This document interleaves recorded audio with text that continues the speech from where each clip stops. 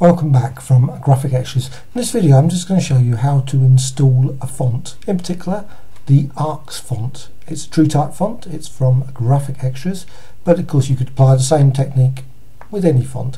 And I'm using Windows 8.1. Okay, first thing to do, go over to the TrueType font and right click and then open I've got FontLab here, that's because I use uh, that to create fonts, but uh, the one you want is Windows Font Viewer. Select that. Now, it will actually displays what, actually what's in the font. Obviously, all the arc designs all basically overlap in here. So, what we want to do now is just click the install.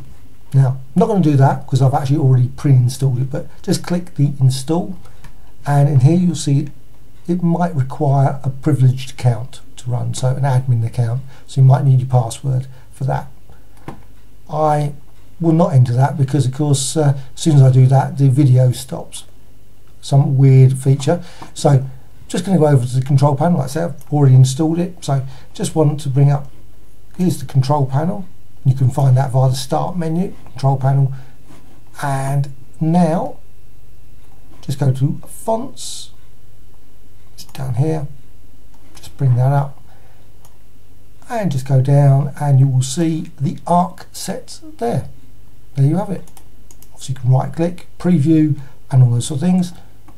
Hope you found this quick tutorial of interest. Thank you much